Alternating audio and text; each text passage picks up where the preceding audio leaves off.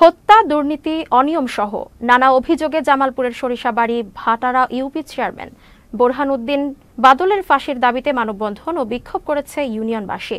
বৃহস্পতিবার সকালে ভাটারা ইউনিয়ন পরিষদের সামনে ঘণ্টাব্যাপী এই মানববন্ধনের আয়োজন করা হয়। এ সময় বক্তারা বলেন, শেখ হাসিনা পদত্যাগের পর থেকেই পরিষদে আসেন না ইউপি চেয়ারম্যান বাদল। এতে বন্ধ হয়ে পড়েছে ইউনিয়নের সকল ধরনের নাগরিক সেবা। এছাড়াও তার বিরুদ্ধে দুটি হত্যা মামলা ও দুর্নীতির অভিযোগে দুদকেও মামলা রয়েছে। এ সময় চেয়ারম্যান বাদলের অপসারণ করে প্রশাসনিক কর্মকর্তা নিয়োগ ও হত্যা মামলায় তার ফাঁসির দাবি জানান এলাকাবাসী।